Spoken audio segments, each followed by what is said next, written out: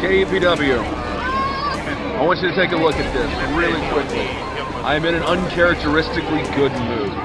You see, I'm as far away from Frankfort, Kentucky as I possibly can be, but tonight, we're not going to worry about that. Tonight is a night for celebration. You see, it's New Year's over here in Shibuya, and we're here to celebrate. You see, I just got off the phone with my partner, Omega, just ripped Stan Sierra in half, beat him down like the dog that he is. Now, Scott Diamond, it seems you're running out of friends. Big Hoss Brandon Keith, sure, I'll give the devil his due. Beat me.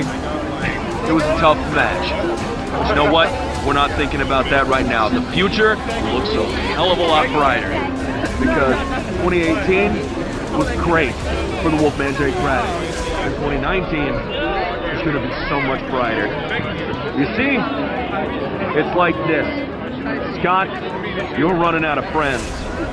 So, what I suggest for you is to get your boys HNIC to sign the papers for a tag team championship match. Because the Pitbull and I, we're going to rip them in half, and we are going to carry those belts for a long, long time.